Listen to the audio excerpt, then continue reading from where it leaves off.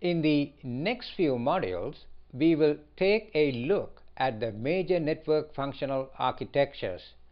But first, let us get an overview of the different types of functional architectures that exist in practice today. Logically speaking, we could group the major functional architectures into two groups. What are they? First is the peer-to-peer -peer network architecture that is the simplest form of functional architecture. We talk about peer-to-peer -peer network architecture. Then of course we have the client-server type of network architecture that is the more advanced version of the functional architecture and incidentally the second one here is the one that's used very frequently and extensively in the business world. Each of these two architectures have different implementations as well.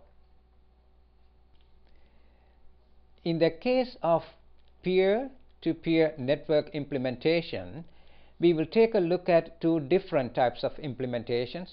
One is a network or a peer-to-peer -peer network that is implemented using a less secure operating system such as Windows 95 or 98 and we will also take a look at the functional features of a peer-to-peer -peer network that is implemented using a more secure operating system such as for example the Windows 2000 Professional or the Windows XP operating system.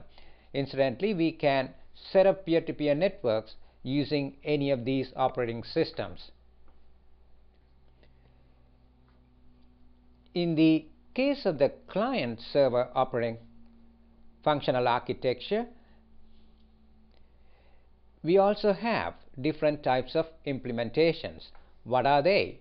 The first one that we would come across, the simplest form of the client-server architecture is known as the file server architecture. Then comes the application server architecture that is sometimes called the true client-server technology implementation.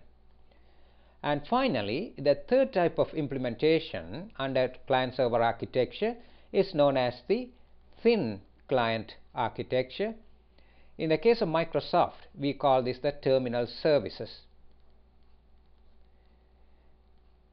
And again, in the case of a file server architecture, we can have implementations that differ in complexity. First, of course, we could have a file server implementation that focuses on a local network. So, we talk about a local implementation of the file server architecture. On the other hand, we can also have file server implementations that are much more sophisticated. Uh, for example, uh, in this case, they can be globally oriented. A good example would be the implementation of the Active Directory structure in the case of the Windows 2003 server operating system. So these are some of the functional architectures under the second type of implementation or the second type of network functional architecture that is the client server architecture in that again we will look at the file server there are two variations of the file server implementation. We will look at the application server and of course we will look at the thin client implementation as well. When we look at the different types of implementations under client-server functional architecture, we will study the following factors to get a better understanding of the different architectures. What are these factors? First, we will look at the point of execution of applications.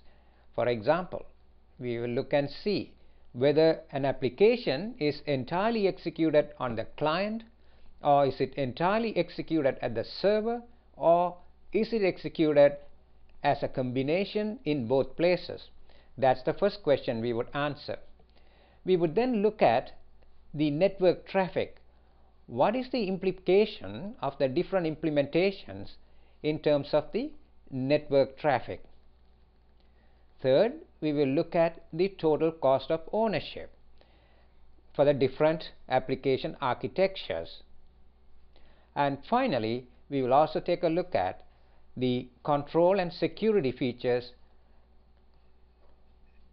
that apply to the different functional architectures. So, we are talking about security and control. These are some of the factors that we would use for understanding the different types of client server functional implementations. This brings us to an end to this discussion on the different functional architectures of a network. In the next few modules, we will look at each of these functional architectures with respect to the factors that we have outlined on this page.